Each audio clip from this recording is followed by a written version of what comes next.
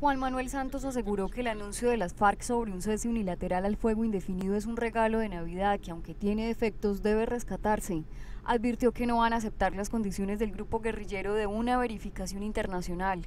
Vamos, eso sí, a analizar muy bien el avance y el cumplimiento de este cese al fuego, porque me parece que es un buen paso inicial, debe completarse, complementarse con otros gestos de paz. Las FARC, por su parte, confían en que la decisión fortalezca los diálogos de paz, aunque reiteran que las fuerzas militares también deberían suspender operaciones.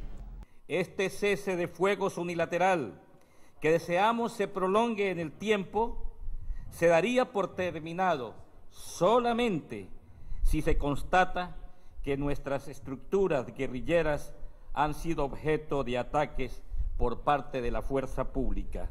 Nosotros respetamos las órdenes que nos dé el señor presidente de la República y el alto mando militar y el Ministerio de Defensa. En este momento nosotros tenemos la orden de continuar las operaciones militares.